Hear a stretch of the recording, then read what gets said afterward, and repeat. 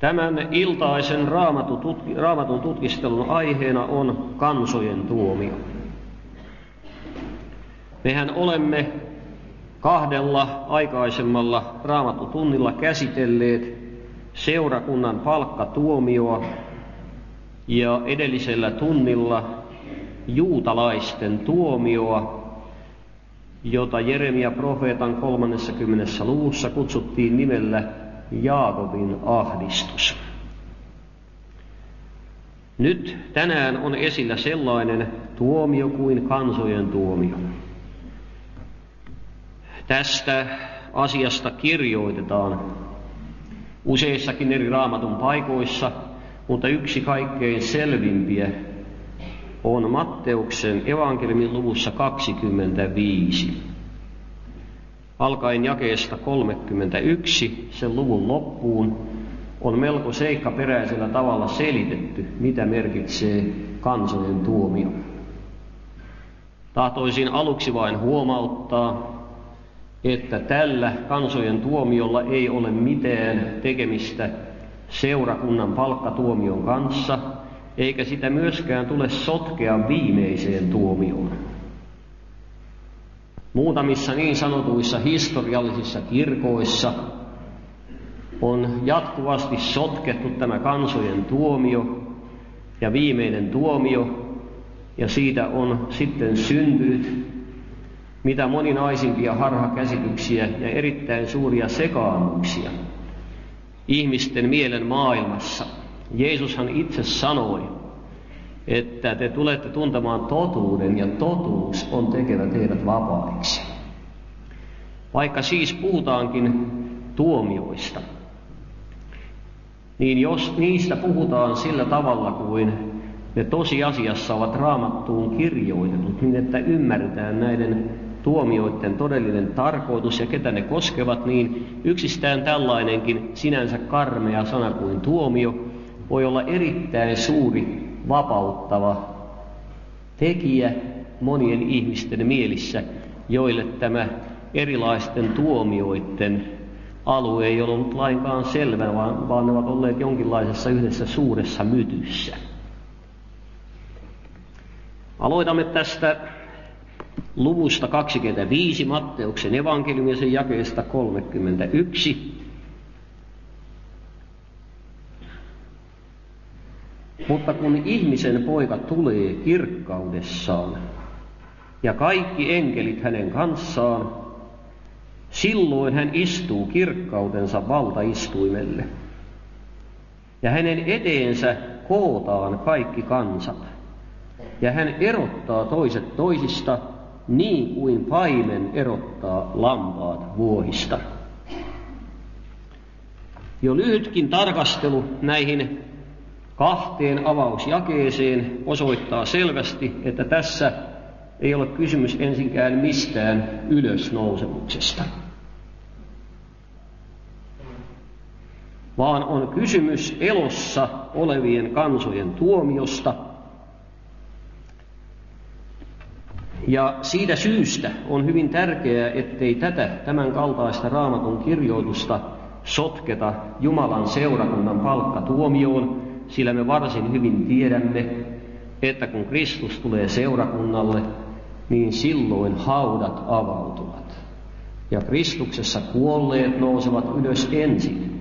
Ja sitten meidät, jotka olemme elossa, temmataan yhdessä heidän kanssaan yläilmoihin ylkää vastaan, ja niin me saamme aina olla Herran kanssa. Niinhän asia selvästi ilmoitetaan ensimmäisessä Tessalonikalaiskirjeessä sen neljännen luvun lopussa.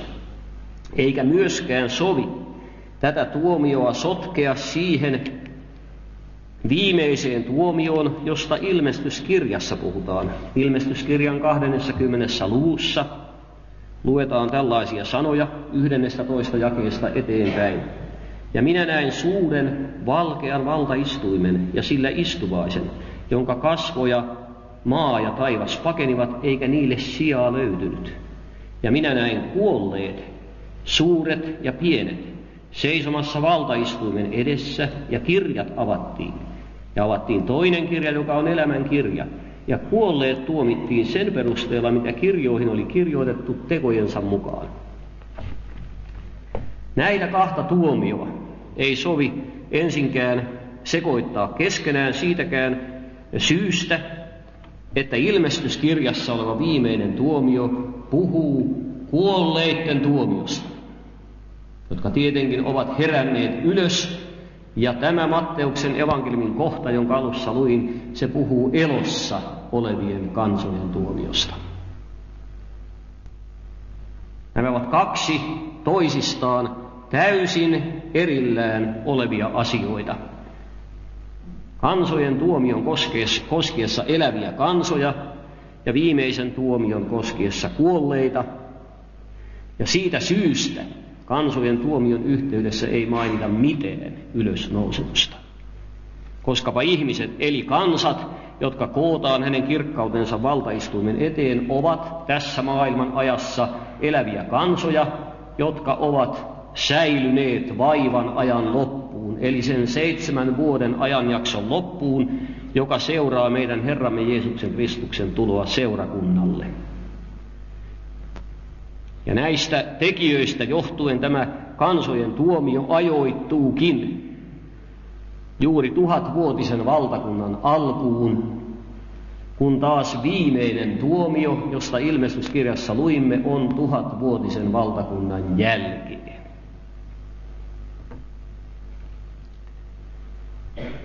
Nämä ovat siis erittäin selviä tosiasioita.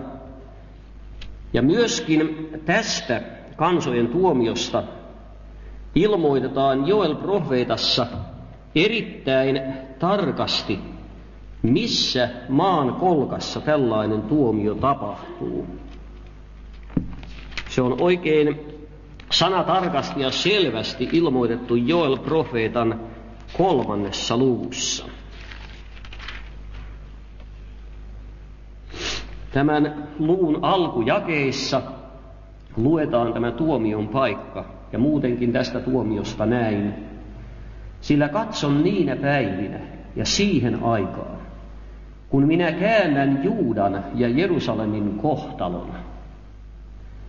Minä kokoan kaikki pakana kansat, vien ne alas Joosafatin laaksoon ja käyn siellä oikeutta niiden kanssa – kansani ja perintöosani Israelin tähden, sillä he ovat hajottaneet sen pakanakansaan sekaan, ovat jakaneet minun maani. On siis olemassa paikka Israelin maalla, jonka nimi on Joosafatin laakso, ja tämä nimikin sinänsä jo on merkillinen, sillä suomalaisenkin raamatun alareunassa on tämän nimen sel- selitys Herra tuomitsee. Ja nimenomaan tämä Joosafatin laaksossa suuren vaivan ajan jälkeen tapahtuva tuomio koskee pakana kansoja. Yksi merkittävä asia on vielä se, että tässä kansojen suuressa tuomiossa ei puhuta mitään kirjoista, kun taas viimeisen tuomion yhteydessä sanotaan, että kirjat avattiin. Myöskin on toinen huomattava ero. Ne, jotka astuvat tälle kansojen tuomiolle, niitä nimitetään nimillä lampaat ja vuohet. Kun taas viimeiselle tuomiolle ilmoitetaan vain selvästi, että sinne nousee kuolleet. Nämä eroitukset ja tämä erilainen kielen käyttö, se johtuu tietenkin kokonaan siitä, että nämä ovat kaksi toisistaan aivan erillään olevaa tapahtumaa. No niin, me jatkamme tätä Matteuksen evankeliumin 25. luvun lukua nähdäksemme sitten vähän niistä perusteista, millä tavalla asioita käsitellään tällä kansojen tuomiolla.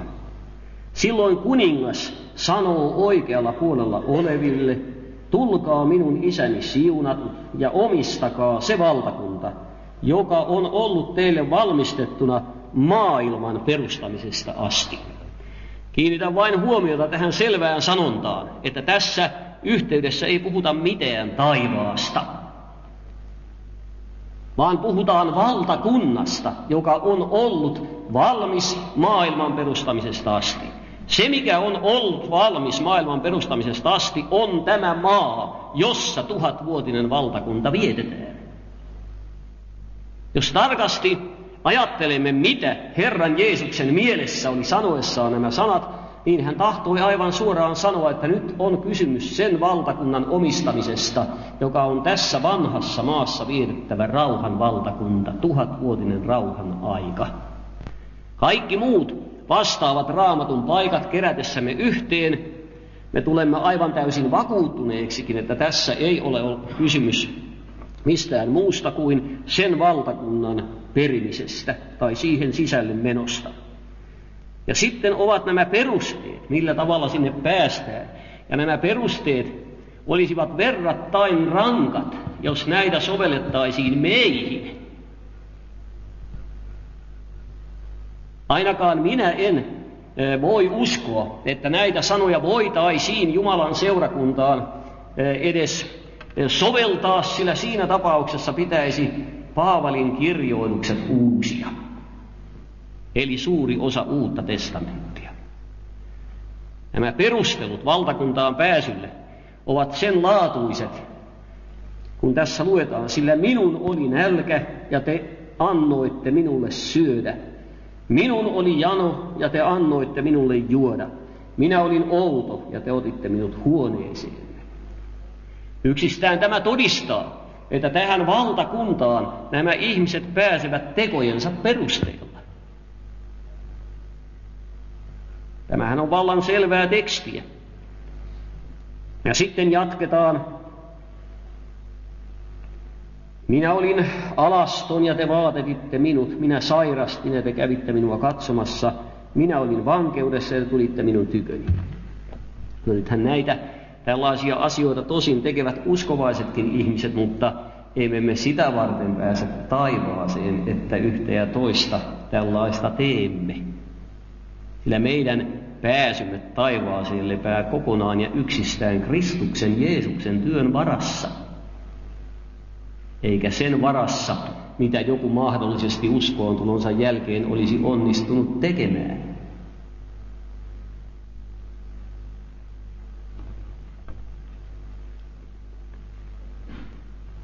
Sitten jatketaan. Silloin vanhurskaat vastaavat hänelle sanoen, Herra, silloin me näimme, milloin me näimme sinut, sinut nälkäisenä ja ruokimme sinua, ja janoisena ja annoimme sinulle juoda, ja milloin me näimme sinut outona ja otimme sinut huoneeseemme, tai alastonna ja vaatetimme sinut, ja milloin me näimme sinun sairastavan tai olevan vankeudessa ja tulimme sinun tykösi.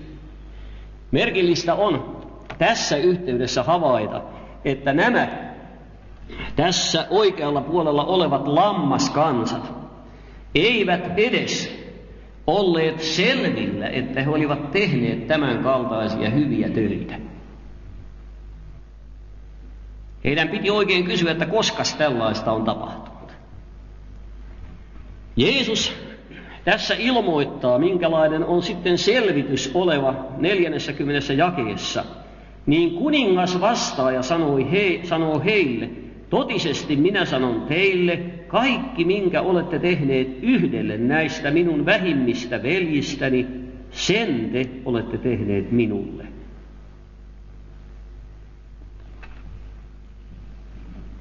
Selitys on mitä selvin, sillä oikeastaan jos asiaa ajatellaan pohjaan asti, niin Jeesus ei kutsu uskovaisia ihmisiä vähimmiksi veljikseen siitä yksinkertaisesta syystä, että me olemme hänen oikeita veljiä, koska me olemme syntyneet samasta hengestä.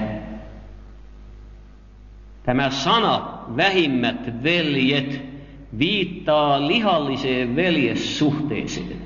Ja tämä lihallinen veljessuhde Jeesuksella oli juutalaisiin. Siitä syystä on tämä sana, että minkä olette, olette tehneet minun vähimmille veljilleni, tai yhdelle näistä minun vähimmistä veljistäni, sen olette tehneet minulle. Ajatelkaamme tätä asiaa pohjaan asti. Jos olisi kysymys siitä, että nämä veljet olisivat uskovaisia, niin siinä tapauksessa ihmisiä pääsisi seurakunnan ylösoton jälkeen taivasten valtakuntaan sen perusteella, mitä he tekivät uskovaisille.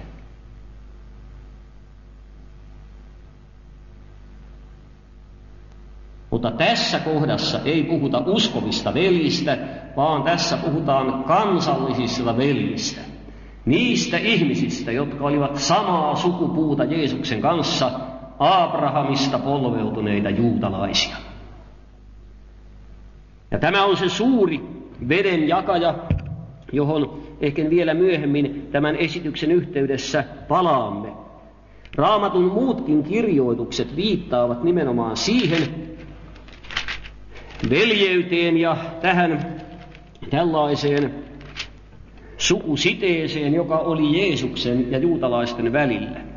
Johanneksen evankeliumin ensimmäinen luku ja jae 11. Hän tuli omiensa tykö ja hänen omansa eivät ottaneet heitä vastaan. Toisin sanoen hän tuli veljensä tykö, kansallisten veljensä tykö, juutalaisten tykö. Heidän keskellään, keskelleen hän syntyi. Heidän keskellään hän vaelsi, mutta hänen omansa eivät ottaneet häntä vastaan. Samanlainen viittaus on roomalaiskirjeen yhdeksännessä luvussa. Tämän luvun viidennessä jakeessa luemme tällaisia sanoja tästä kansasta. Heidän ovat isät, nimittäin juutalaisten, ja heistä on Kristus, lihan puolesta, hän joka on yli kaiken Jumala, ylistetty iankaikkisesti. Aamen. Tietenkin me voisimme tämän kaiken vielä vahvistaa lukuisilla muillakin raamatun paikoilla. Mutta nämäkin viittaukset riittävät todistamaan, että tämä nimenomaan raamatun kohta kansojen tuomiosta, se puhuu siitä, että elossa olevat kansat vaivan ajan loppuvaiheessa ennen tuhatvuotisen valtakunnan alkua kootaan Kristuksen tuomioistuimen eteen. Ja tämän tuomioistuimen tuomarina on hän itse, mutta myöskin niihin, jotka tätä tuomioa käyvät, kuuluu seurakunta Kristuksen kanssa. Tähän löytyy selvä viittaus, joka tässä nyt tuli mieleeni ensimmäisen korintolaiskirjeen kuudennesta luvusta.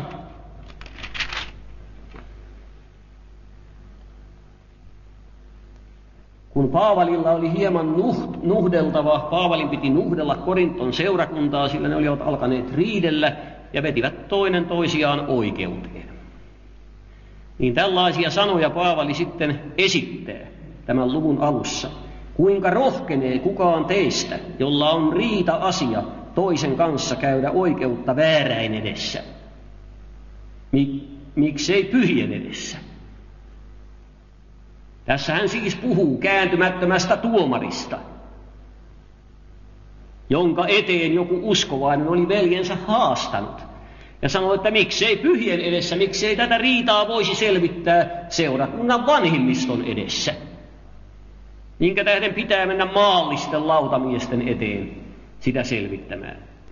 Ja perusteluksi sille, minkä tähden hän piti pyhien edessä käytävää oikeutta pätevämpänä kuin maallista oikeutta, hän esittää seuraavia ajatuksia. Vai ettekö tiedä, että pyhät tulevat maailman tuomitsemaan? Ei siis niin, että pyhät tulisivat kuolleita tuomitsemaan, vaan pyhät tulevat tuomitsemaan maailman. Eli he istuvat siinä oikeusistuimessa yli tuomarin kanssa, kun maailman kansat tuomitaan ennen tuhatvuotista valtakuntaa. Ja hän vetää sellaisen johtopäätöksen, ja jos te tuomitsette maailman, niin ettekö kelpaa ratkaisemaan aivan vähäpätöisiä asioita. Hän tahtoo siis sanoa, että seurakunnassa olevat riita-asiat ovat verrattain vähäpätöisiä verrattuna siihen valtaisaan suureen oikeudenkäyntiin, joka tapahtuu kansojen tuomion päivänä ennen kuin valtakunnan aika alkaa. Olen joskus lohduttanut afrikkalaisia veljiä, jotka käyvät myöskin monenlaisia käräjiä niissä alkukantaisten ihmisten seurakunnissa, sillä vaikka ihmiset etelässä ovat niin vilkkaita, ja jos vähänkin vain saarnataan noin vauhdilla enemmän tai lauletaan, niin lantiot keinuvat ihmeellisesti ja on mahdotonta meteliä joka puolella ja turistit luulevat, että täällähän se on oikein enkelparvi, mutta kyllä siellä on hirmuisen vaikeita asioita seurakunnissa. Ja niitä joutuvat ratkomaan. Ja usein onkin niin, että valkoinen mies ja nainen niillä levoisasteilla tekee kaikkein viisaammin, kun pitää suunsa kiinni. Monet heimosäännöt, vanhat, vuosisataiset perinteet ovat sellaisia, että niihin ei koskaan kunnolla valkoihoinen ihminen pääse sisälle, ei ainakaan niin pitkälle, että voisi tarjoutua jonkun riidan ratkaisijaksi. Joskushan on pakko ottaa osaa sellaisiin asioihin, mutta minä olen aina huomannut, että valkoinen ihminen sellaisissa seurakuntien oikeudenkäynneissä on enemmänkin vain kunnia jäsen. joka tuodaan sinne vain sen tähden, että jotkut, jotka vielä kunnioittavat siellä etelässä valkoista ihon väriä, niin olisivat vähän noin niin kuin järjestyksessä paremmin. Mutta ei niitä asioita muut oikein ymmärrä, ne ovat hyvin vaikea tajuisia asioita. Minä olen lohduttanut niitä veljiä, että älkää, pidä, äl, älkää pitäkö sitä nyt kovin pahana, jos on vaikeita asioita seurakunnassa, että tämä on sellainen korkea koulu tämä seurakunta, että saatte tässä vähän sellaista praktiikkaa etukäteen, kun joudutte kansoja tuomitsemaan.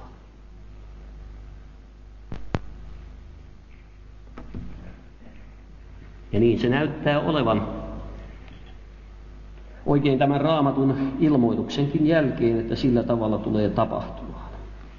Kun nyt luemme tästä hieman eteenpäin tästä Matteuksen evankeliumin kohdasta, niin me havaitsemme sitten nämä toiset. Jakeesta 41. Sitten hän myös sanoo vasemmalla puolella oleville, menkää pois minun tyköäni te kirotut, siihen iankaikkiseen tuleen, joka on valmistettu perkeleille ja hänen enkeleillensä.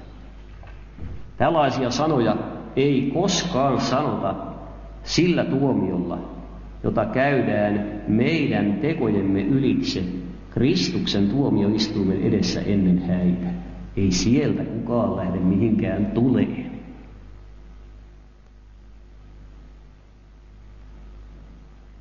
Sieltä menee kaikki taivaan autuuteen, jok ikinen. Kun Kristus Jeesus tulee ja tempaisee verellä ostetun seurakunnan, niin ei sieltä istuimen edestä enää sellaista vahinkoakaan tapahdu, että joku menisi helvetin tuleen vaan kaikki menevät häihin taivaan autuuteen. Minä en kyllä väitä, että kaikki menee kruunujen kanssa, mutta menee. Se viimeinenkin pyhä, jolla oli vain pelkkä perustus ja oli heinistä, puusta ja olista rakennettu maja, joka paloi hömähti siellä portilla, niin sekin meni taivaan autuuteen. Sieltä ei kukaan joudu kadotukseen.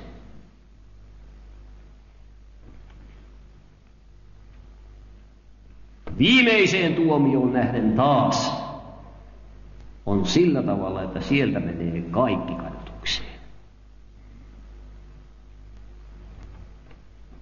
Mutta tämä kansojen tuomio on sellainen, että nämä vasemmalla puolella olevat vuohikansat, ne hävitetään. Ja he menevät siihen tuleen, joka on valmistettu perkeleille ja hänen enkeleillensä. Ja perusteet ovat samat. He eivät ole tehneet Jeesuksen vähemmille veljille sitä, mitä tehdä olisi pitänyt. Sillä minun oli nälkä ja te ette antaneet minulle syödä. Minun oli jano ja te ette antaneet minulle juoda. Minä olin outo ja te ette ottaneet minua huoneeseenne. Minä olin alaston ja te ette vaatettaneet minua. Sairaana ja vankeudessa ja te ette käyneet minua katsomassa. Silloin hekin vastaavat sanoen, Herra, milloin me näimme sinut nälkäisenä tai janoisena tai outona tai alastona tai sairaana tai vankeudessa, emmekä sinua palvelleet. Silloin hän vastaa heille ja sanoo, totisesti minä sanon teille, kaiken minkä olette jättäneet tekemättä yhdelle näistä vähimmistä, sen te olette jättäneet tekemättä minulle. Ja nämä menevät pois iankaikkiseen rangaistukseen, mutta vanhurskaat iankaikkiseen elämään.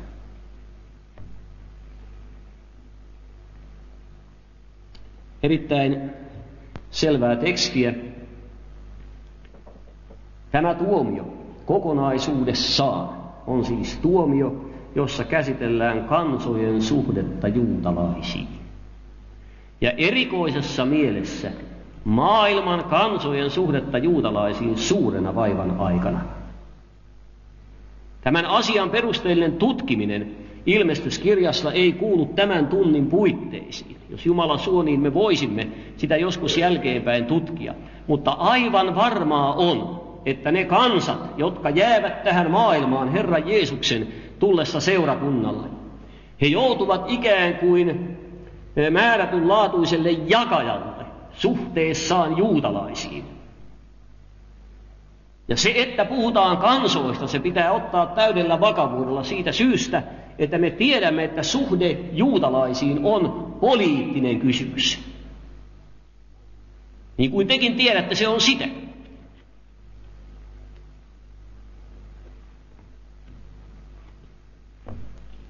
Mutta jos tässä nyt muistin virkistämiseksi ennen kuin palaan tähän juutalaiskysymykseen hieman ja tähän perusteisiin, lukisin vielä muutaman paikan sitä seurakunnan tuomiosta, niin että jokainen tulisi täysin vakuuttuneeksi, että tämän kaltaisella raamatun paikalla ei ole mitään tekemistä seurakunnan tuomion kanssa. Niin me luemme ensinnäkin roomalaiskirjeen kahdeksannen luvun ensimmäisen jakeen, joka on jo aiemminkin luettu, joka pitää yhtä meidän Herramme Jeesuksen Kristuksen sanojen kanssa Johannes 5 ja 24. Niin ei nyt siis ole mitään kadotustuomiota niille, jotka Kristuksessa Jeesuksessa ovat. Ei mitään. Ja Jeesus itse sanoi Johanneksen evankeliumissa puhuessaan näistä asioista, tämän evankeliumin viidennen luvun jakeessa 24, niin kuin jo mainitsin, totisesti, totisesti, minä sanon teille, joka kuulee minun sanani ja uskoo häneen, joka on minut lähettänyt, sillä on iankaikkinen elämä, eikä hän joudu tuomittavaksi, vaan on siirtynyt kuolemasta elämään. Pankaamme erikoisesti merkille kaikki nämä sanat, mitkä tässä sanottiin. Olisihan nimittäin mitä mielettömin ajatus, että kun meidän Herramme Jeesus tulee takaisin, ja me toivomme ja odotamme, että hän tulisi mahdollisimman pian, vai kuinka? Sitähän me odotamme. Vaikka meillä on täällä maailmassakin uskovaisina aika mukava olla. Varsinkin juhla-aikoina, kun ei ole erittäin kiirettä, paitsi ehkä Rauma Repolan miehillä, kuka tiesi. Joillakin. On mukava olla täällä maailmassa, niin uskovainen, jolla on Jumalan pyhä henki. Hänellä ei koskaan ole niin mukava olla, etteikö hän kaipaisi siihen maahan, mistä hän on syntynyt. Huomatkaamme tämä.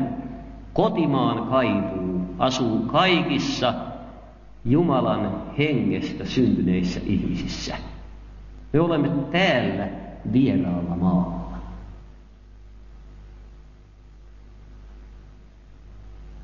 Ja siksi me laulamme taivaslauluja, koska ne ovat meidän kansallislaulujamme. Ilmiö on merkillinen, kun suomalaiset, jotka eivät ole millään tavalla erikoisemmin isänmaallisia, ihmisiä sellaisetkin, jotka eivät sitä ole, kun ne joutuvat ulkomaille ja asuvat siellä vuosia, niistä tulee melkein solkenaan isänmaallisia. Ne laulavat maamme laulua ja Sibeliuksen Finlandiaa joinakin erikoisina hetkinä tippalinssissä. Sitten kun ne tulevat Suomeen, ne eivät laula niitä. Mutta siellä laulavat. Vaikka joku uskovainen voisi pitää sitä, että se on sopimatottakin, niin ne vaan laulavat. Lähetyssaarnaatkin laulaa. Minäkin olen laulanut. Olemme laulaneet sellaisella voimalla ja hartaudella oikeastaan, että afrikkalaiset tulivat kysymään, että mitäs te laulatte?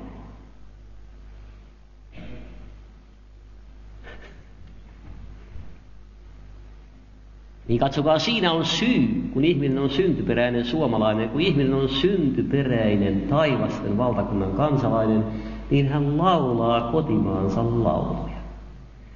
Ja sitten kun eräänä päivänä nämä taivasten valtakunnan kansalaiset viedään sinne ylös, niin olisi mitä hulluin ajatus, että joku niistä heitettäisiin pois sieltä. Ei sellaista tule tapahtumaan.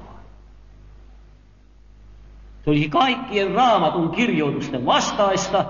Sen tähden tahtoisin sanoa sinulle, joka olet sisäänpäin kääntynyt ja aina näet sen vajaa mittaisuutesi. Kuitenkin uskot Kristukseen ja riiput hänessä.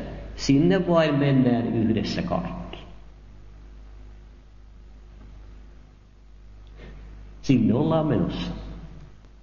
Voihan sinusta joskus tuntuakin siltä, että et ole menossa, mutta menet sittenkin.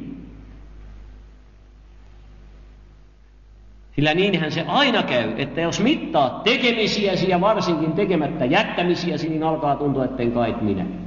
Mutta Kristuksen Jeesuksen verivuoti kolkatalla takeeksi siitä, että jokainen, joka uskoo häneen ja hänessä riippuu kiinni, vaikka kuinkakin heikkona tulee kotiin Jumalan luo. Ylistys Jumala. Mutta me olemme lukeneet tässä sen jälkeisen ajan tuomiosta, jonka johtavan periaatteen Isä Jumala aikanaan sanoi eräälle miehelle, nimittäin Abrahamille, joka on juutalaisten kansallinen isä. Vanha patriarkka. Mooseksen ensimmäisessä kirjassa, sen luvussa 12, Jumala puhui tällaisia sanoja Abrahamille. Ja Herra sanoi Abrahamille, Lähde maastasi, suvustasi ja isäsi kodista siihen maahan, jonka minä sinulle osoitan. Niin minä teen sinusta suuren kansan. Siunaan sinut ja teen sinun nimesi suureksi ja sinä olet tuleva siunaukseksi. Ja minä siunaan niitä, jotka sinua siunaavat. Ja kiroan ne, jotka sinua kiroavat. Ja sinussa tulevat siunatuiksi kaikki sukukunnat maan päällä. Tämä kolmas jae tätä lukua Tämä on oikeastaan se laki, jonka mukaan kansat tuomitaan kansojen tuomion päivänä. Olkoonpa tämän kansan hengellinen tila mikä tahansa, niin se on Jumalan valittu kansa. Sillä Jumala ei kutsumistansa ja armolahjojansa kadu. Niin on raamatussa kirjoitettu, sen tähden kansojen tuomio tapahtuu tämän periaatteen mukaan, jonka Jumala julisti Abrahamille noin neljä tuhatta vuotta sitten. Sillä tämä mies Abraham eli noin 2000 vuotta ennen Kristuksen syntymää, ja silloin Jumala julisti tämän periaatteen, jonka mukaan hän ennen tuhatvuotista valtakuntaa tuomitsee maailman kansat.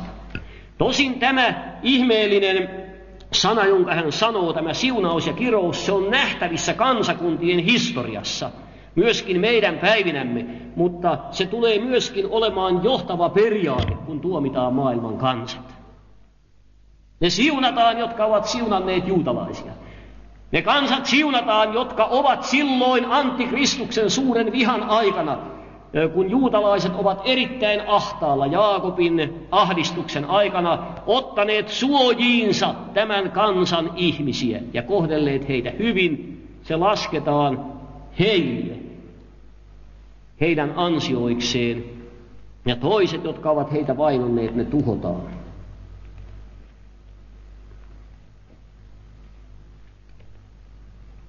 Raamatussa on muuallakin sellaisia ilmoituksia, jotka tavallaan liittyvät tähän. Jos me luemme psalmista 37, yhden jakeen, nimittäin yhdennen toista, niin täällä sanotaan näin. Mutta nöyrät perivät maan ja iloitsevat suuresta rauhasta. Tässä näitä ihmisiä kutsutaan nöyriksi. He ovat nöyrämielisiä, armahtavaisia juutalaisia kohtaan. Ja heistä ilmoitetaan, että he iloitsevat suuresta rauhasta. Mikä on suuri rauha? Suuri rauha on Kristuksen valtakunnan rauha. Se on rauhan valtakunta. Ja Jeesus itse puhui Matteuksen evankeliumin viidennessä luvussa kuuluisassa vuorisaarnassaan, kun hän kosketteli autuaita ihmisiä, minkälaisia ne ovat, niin hän sanoi tällä tavalla, viidennessä jakeessa, autuaita ovat hiljaiset, sillä he saavat periä maan. Maan perimisestä on kysymys, niin kuin eh, siinä kansojen tuomio, tuomiollakin on kysymys maan perimisestä. Ketkä pääsevät sisälle valtakuntaan, tuhatvuotiseen rauhan valtakuntaan, tässä heitä nimitetään hiljaiseksi. Kyllä on selvää, että juutalaisia vihaavat kansat ovat meluisia. Ne ovat niin meluisia meidänkin päivinämme, että sellainen pieni mitätön kansa, kymmenien jopa satojen miljoonien arabien ja muiden puristuksessa, niin siitä yritetään tehdä kaikkein suurin rikollinen, kansasta, joka kuitenkaan ei tavoittele mitään muuta kuin sitä maata, jonka Jumala on heidän isilleen luvannut. Voidaan siis sanoa, että tässä suhteessa suurin osa maailman kansusta on tyhjiä melun pitäjiä. Autuaina ovat ne hiljaiset kansat jotka eivät pidä sellaista melua juutalaisia vastaan, he saavat periä maan yhdessä juutalaisten kanssa.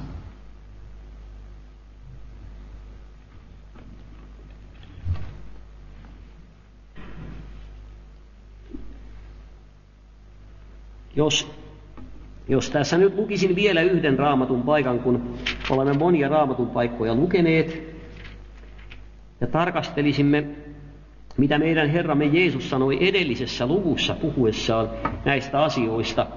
Jeesushan puhui nimittäin näistä asioista tavattoman paljon. Mutta luvussa 24 Matteuksen evankeliumia. Hän sanoo tällaisia sanoja alkaen jakeesta 29. Mutta kohta niiden päivien ahdistuksen jälkeen aurinko pimenee.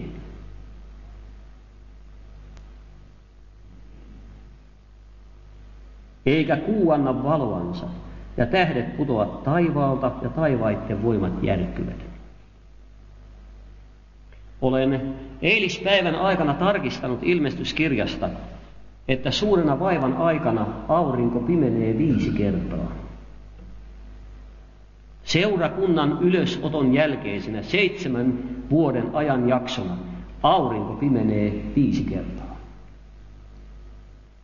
Ja Jeesus puhuessaan tässä, hän puhuu siitä viimeisestä auringon pimennyksestä, josta hän sanoo, että se on niiden päivien ahdistuksen jälkeen, eli se on vaivan ajan viimeinen hetki.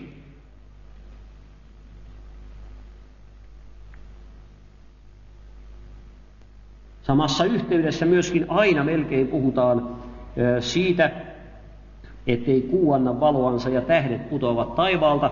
Ne ovat kaikki tapahtumia, joista puhutaan erittäin paljon ilmestyskirjan kuudennen ja kahdeksannentoista luvun välillä. Jeesus viittasi niihin asioihin tässä jakeessa. Ja sitten jakeessa 30. Ja silloin ihmisen pojan merkki näkyy taivaalla. Ja silloin kaikki maan sukukunnat parkuvat, ja he näkevät ihmisen pojan tulevan taivaan pilvien päällä suurella voimalla ja kirkkaudella.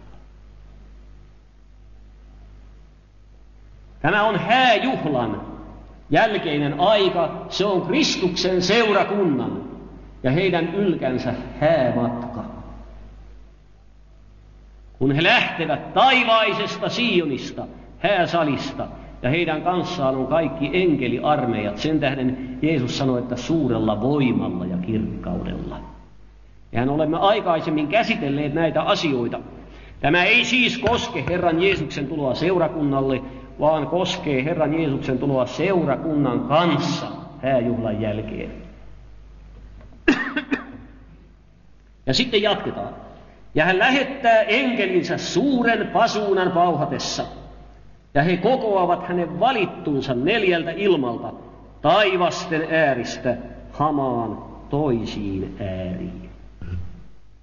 Ketkä ovat nämä hänen valittunsa? Hänen valittunsa ovat juutalaiset. Roomalaiskirjeen 11. luku, jota olemme jo useammankin kerran aikaisemmin lukeneet, ilmaisee tämän valittujen joukon tällaisilla sanoilla, alkaen jakeesta 25. Sillä minä en tahdo, veljet, että et olisi oman viisautenne varassa, pitää teitä tietämättöminä tästä salaisuudesta, että Israelia on osaksi kohdannut paatumus, hamaan siihen asti, kunnes pakanain täysiluku on sisälle tullut. Ja niin kaikki Israel on pelastuva, niin kuin kirjoitettu on, Sionista tulee pelastaja, hän poistaa jumalattoman menon Jaakobista. Ja tämä on oleva minun liittoni heidän kanssaan, kun minä otan pois heidän syntinsä. Ja näyttää siltä, että tässä merkillisessä kokoamisessa, kun vaivan ajan läpi kulkeneet juutalaiset kootaan, niin käytetään enkeleitä. Hän lähettää enkelinsä suuren pasuunan pauhatessa ja he kokoavat hänen valittunsa neljältä ilmalta, taivasten ääristä hamaan toisiin ääriin. Siis maailman kaikilta kolkilta on nimittäin säädetty, että juutalaisten jäännös, eli kaikki elossa olevat juutalaiset, jotka ovat onnistuneet säilymään hengissä läpi vaivan ajan, ne kootaan ja ne pelastuvat sinä suurena päivänä. Mutta sinä suurena päivänä myöskin ne kansat, jotka ovat näitä Jeesuksen vähempiä veljiä hyvin kohdelleet, he myöskin saavat hyvän osan ja astuvat rauhan valtakuntaan. Ja toiset hävitetään ja astuvat iankaikkiseen vaivaan ja kauhistukseen. Mutta tämä tuomio, niin kuin olen yrittänyt sitä esittää, on kokonaan toinen kuin seurakunnan tuomio, eikä sillä myöskään ole mitään tekemistä viimeisen tuomion kanssa. Sillä tämä tuomio, josta Jeesus puhui, se koskee vain elossa olevia maailman kansoja, jotka ovat silloin tässä maailman ajassa, kun Jeesus tulee häistä seurakunnan kanssa. Ajattelen sillä tavalla, että jos totuus näistä tuomioista, nimittäin seurakunnan tuomiosta, juutalaisten tuomiosta, kansojen tuomiosta ja tuhatvuotisen rauhan valtakunnan jälkeen olevasta viimeisestä tuomiosta on täysin selvä jonkun uskovaisen ihmisen eh, hengessä, niin hän on vapaa turhista peloista. Ja ihminen, joka on vapaa pelosta, hän on sellainen ihminen, joka elää autuasta ja voimakasta hengellistä elämää. Ja meidän Herramme Jeesus tahtoo, että me elämme pelosta vapaata elämää, voimakasta hengellistä elämää, sellaista elämää, josta voidaan sanoa, että tämä ihminen on vapaa. Ja siinä mielessä raamatun opin ymmärtäminen on sellainen asia, joka auttaa meitä meidän iloomme. Ja ajattelenkin sillä tavalla, että Jumalan ihmisten tulee olla erittäin huolellisia siitä, mitä he kuuntelevat. Sillä on mitä valitettavampaa, jos Jumalan ihmiset ovat monenlaisten keskenään ristiriitaisten oppien ja opettajien opetettavina. Siitä tulee sellainen sisäinen olotila, jossa ei ole mitään varmuutta, ei mitään tietoa. Oikea voi olla tämä, mutta yhtä hyvin voi olla tuokin. Mutta nämä Jumalan sanan selvät ilmoitukset tuomioista Nämä ovat oikeastaan koko raamatun profeetallisen sanan pylväät. Jos nämä pylväät pannaan oikeisiin paikkoihin sillä tavalla kuin ne on kirjoitettu, Jumalan pyhän hengen ohjauksessa niin koko rakennus. Se pysyy pystyssä näiden valtavien jumalallisten teräspilarien varassa. Vieläkin Jumalan valtakunta perustetaan ja vahvistetaan vanhuskaudella ja tuomiolla, mutta kiitos Jumalalle, että meidän tuomiomme kantoi hän, joka ristinpuun päällä riippui. Rangaistus oli hänen päällänsä, että meillä rauha olisi. Sen tähden, kun tämä vanha vuosi tässä on lopuillaan, niin meillä lienee suuri syy onnitella toinen toisiamme tästä valtavasta armosta, joka on osaksemme tullut Kristuksessa Jeesuksessa, meidän Herrassamme, joka kantoi meidän syntivelkamme, joka tuomittiin meidän edestämme, että meitä ei enää tuomita. Ja lain hengelle ja koston hengellä varustettuja miehiä, joilla on Jumalan sana, mutta Jumala panee heidät todistamaan erikoisella tavalla siinä ajassa, ja me, mitä me olemme riitelemään kaikki valtiasta Jumalaa vastaan. Me sanomme, tapahtukoon sinun tahtosi. Siellä ylhäällä me tapaamme nämä säkkipukuiset miehet. Emme sen tähden, että olemme niin hyviä vaeltajia, ei sen tähden, että olemme hyviä uhraajia tai hyviä rukoilijoita, vaan sen tähden, että Jeesus kantoi meidän syntimme ruumiissaan ristin puuhun. Ja hänen haavainsa kautta me olemme paratut. Ainoa pääsylippu taivaaseen on Jeesuksen veri.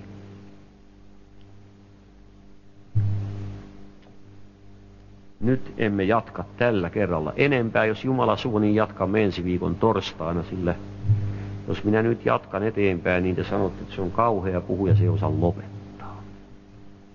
Kiitos, että jaksoitte kuunnella tähän asti.